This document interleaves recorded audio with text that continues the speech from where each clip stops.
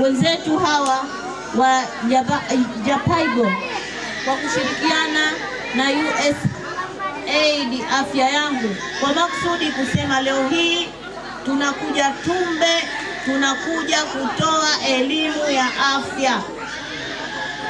Nyinyi ilikuwa tuwasubiri tu kule kwenye vituo vya afya, lakini wizara ya afya ikasema hapana, sasa tunawele, tunawapelekea wananchi wetu walioko vijijini elimu hii ya afya, lakini pia na elimu ya lishe ili waweze kufahamu umuhimu wa afya bora. Niwaambie wenzangu, hii fursa ambayo tumeipata tuitumieni vizuri. Tunatambua wengine hadi leo bado hawaja hawajawa na mwamko wa kutumia vituo vya afya. Wanajitibu majumbani, wanazalia majumbani, watoto wao wakiambua wapeleke chanjo hawendi chanjo. Wengine pia wanaihusisha na dini, wanasema chanjo ni haramu, lakini wengine vile vile wana propaganda wanazopeana kuhusiana na chanjo hizi. Tumeona hapa afisa wetu wa afya wa elimu ya afya namna gani alivyotuonyesha jinsi ya mtoto aliyetimiza chanjo, na hapa tungefanya kwa vitendo kwa watoto zaidi ya watano, basi tungegundua kwamba pana watoto ambao hawajakamilishiwa chanjo zao. Sasa niwaendelee kuambia akina mama pamoja na akina baba, kwa sababu hili jukumu si la mama peke yake. Jukumu hili ni lazima tushirikiane kwa pamoja kuhakikisha kwamba watoto wetu wanapata chanjo kwa mpangilio wa daktari kama ulivyoelekezwa, kuanzia kipindi cha kuzaliwa tu mpaka anapofika miaka iliyopangwa. Kwa hiyo niwaombe wale ambao wote wanapuuzia hizi chanjo, kwa kweli chanjo hizi tusizipuuze. Hapa nyuma tulijionea wakati yalipoingia yale maradhi ya surua, mwambukizo ulikuwa ni mkubwa sana, tukaulizana tuka kwa nini. Kwa hiyo kilichogundulika pale, kuna baadhi hawakutimiza zile chanjo. Kwa hiyo niwaambie wenzangu, tusidharau chanjo, sote tuhakikishe watoto wetu wanapata chanjo. Lakini jengine, sisi akina mama tunapobeba ujauzito, kuna chanjo zetu ambazo tumewekewa, basi nazo tuhakikishe tunachoma zile chanjo lakini wakati huo huo ikiwa ni pamoja na kuhudhuria kliniki kwa wakati. Tusisubiri tu mpaka mtu mimba ishafika miezi saba ndo huyo unajipeleka kliniki taratibu. Kwa kweli pale utakuwa hujajitendea haki. Nenda kliniki mapema ili uweze kujulikana afya yako na pia afya ya kiumbe ambacho umekibeba. Chengine hapa nimeona namna gani Wizara ya Afya walivyotufanyia leo hii, wamefanya huduma ya mkoba. Nafikiria wataalamu wetu waliwaeleza namna gani ya kutumia vyakula vyenye lishe, lakini namna gani ya kuweza kuzipata hizi huduma zote mpaka upikaji wa uji. Na hapa namwambia mdhamini kwamba naona akina mama hata hawasikilizi, hasa akili zao zote ziko kwenye uni. Kwa hiyo niwaambie wenzangu, ule utaalamu ambao tumeupata kwenye uni, na sisi tuondokeni, twendeni tukawapikie watoto. Haya yote tuliowafanya, tumefanya si kama tumefanya mchezo wa kuigiza, basi tulichokifanya hapa ni utoaji wa elimu. Kwa hiyo elimu ambayo imetolewa hapa sasa tuichukueni, twendeni tukaifanyie kazi. Chengine ambacho nataka nikiongelee hapa ni suala zima la uzazi wa mpango. Niwaambie wenzangu, mashallahu, na tunaambiwa sa sisi wananchi wa wilaya Micheweni tunaongoza kwa kuzaa. Mwenyezi Mungu atuwekee watoto wetu, au sio? Awajalie watoto wetu wawe watoto bora, lakini pia niwaambie tujiungeni na uzazi wa mpango ili tuweze kuwanyonyesha watoto wetu kwa kipindi cha miaka miwili. Unapofanya uzazi wa mpango, wewe mama kama mama pamoja na mtoto, basi nyote mnakuwa na afya bora, lakini pia mnayafurahia yale maisha na unapata muda sawa kumlea mtoto wako. Lakini pale ambapo una mtoto mchanga ambaye ndio kwanza anaanza kukaa, wakati huo huo mama tayari una ujauzito, pale unaona namna gani mtoto yule unaposhindwa kumpa huduma. Kwa hiyo niwaombe wenzangu na wataalamu wapo wametuelekeza namna mbalimbali mbali za uzazi wa mpango, basi twendeni tukautumie uzazi huu wa mpango ili tuweze kuwalea watoto wetu vizuri, tuweze kuwanyonyesha kwa kile kipindi ambacho wametakiwa, na ni kipindi cha muda wa miaka miwili. Chengine niwaambie wenzangu kwenye hii lishe bora, lishe wenzangu waliotangulia wameyasema mambo mengi sana. Lishe inamfanya mtoto awe na afya bora, lakini pia inamfanya mtoto awe na ufahamu ulio mzuri. Sisi akina mama wakati mwingine tuna kawaida ya kupishana na hawa waume zetu. Kuna mfano ambao ulitokezea pale kuna mama ana mtoto wake ana umri wa miezi tisa. Yule mama aliachana na mume wake.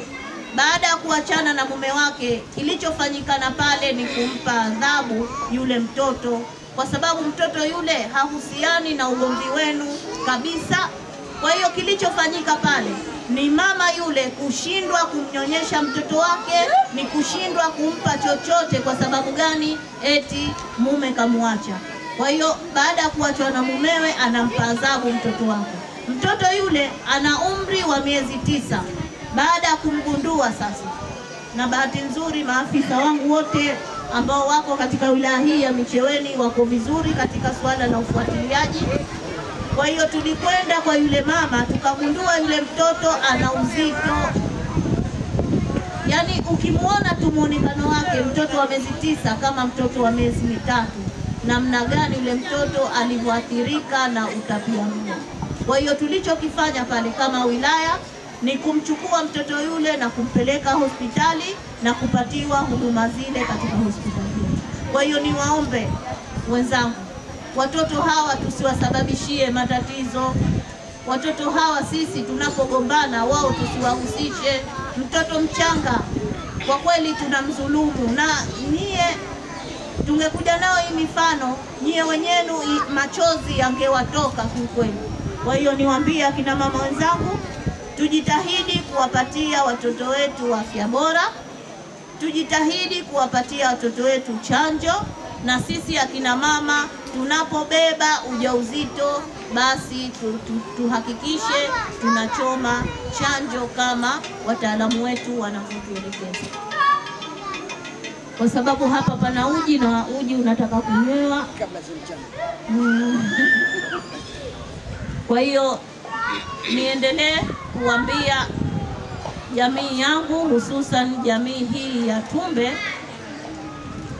sisi tumekuwa ndio wa mwanzo katika wilaya yetu katika kupatiwa elimu hii ya afya pamoja na lishe katika maeneo yetu haya ya vijiji. Kwa hiyo tuendelee kuwaunga mkono Wizara ya Afya kuhakikisha watoto wetu hawa tuna tunawapatia yale yote ambayo tunaelekeza, lakini pia niwaambie akina mama tuendeleeni kujifungua katika vituo vya afya, tusizalie nyumbani. Unapozalia nyumbani, ukipata matatizo pale, ndio pale tunasababisha vifo vya mama. Wakati mwingine nyote wawili tunakosa, mama na mtoto. Lakini utakapokwenda hospitalini, kama una tatizo, basi tatizo lile linajulikana na unaweza ukapatiwa matibabu kwa haraka. Hadi leo bado kuna watu wanakwenda kwa wakunga. Tuacheni yale mambo ya zamani, tuyawache kabisa. Kila siku dunia inabadilika.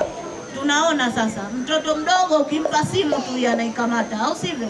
Anaingia ndani, anatizama kila kitu. Haya ni mabadiliko. Kwa hiyo, kwa nini sisi hatutaki kubadilika? tunaendelea tu kujifungua kwa wapunga huko. Kwa hiyo niendelee kuambia haya yote ambayo yameelekezwa leo hapa tuyachukueni, twendeni tukawaelimishe na wale ambao leo hii hawapo.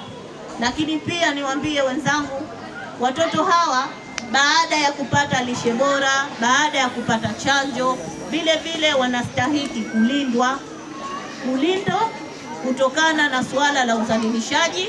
Tujitahidi watoto wetu wasizalilishwe, lakini pia tujitahidi watoto wetu waende shule. Ile tabia ya kwenda bandarini kule, wale watoto kwenda kupara samaki na mambo mengine, niwaambie ile tabia tuiwache. Kama mkuu wa wilaya, kila siku hili nakuwa naliongelea, sitokuwa tayari kumuona mtoto ambaye ana haki na wajibu wa kupata elimu.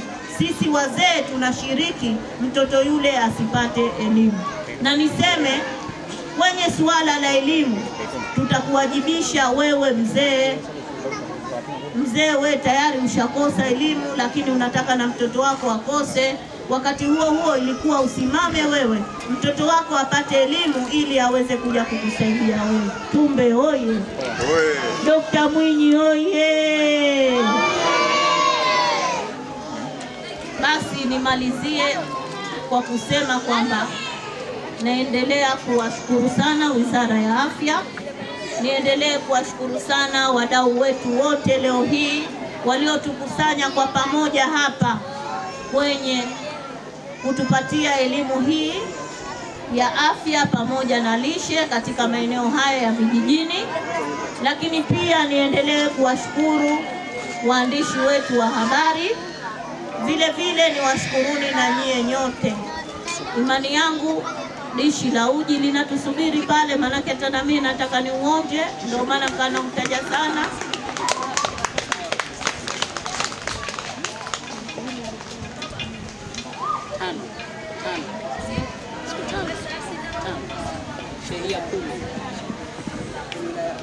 Kwa hiyo niseme tu kwamba wale ambao hawajabahatika kuja leo,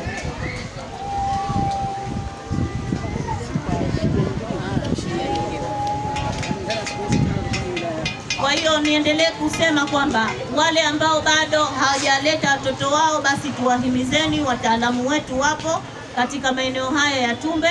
Lakini pia kama mkuu wa wilaya hii ya Micheweni, niendelee kushukuru sana kwa kubahatika kuweza kupatiwa elimu ya afya na lishe katika shehia kumi muda wa siku kumi na tano. Binafsi kama mkuu wa wilaya nimefarajika sana kulipata hili ili wananchi wenzangu waweze kunufaika na elimu hii ya afya ambayo mmetuletea.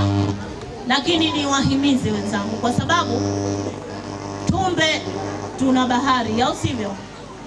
Tumbe tuna bahari, tuna samaki wengi. Basi wale wakina baba tume tumekuwa na mazoea kwamba wale samaki wazuri wazuri tunawauza, watoto wetu tunawapelekea ile midudu mibaya mibaya ile.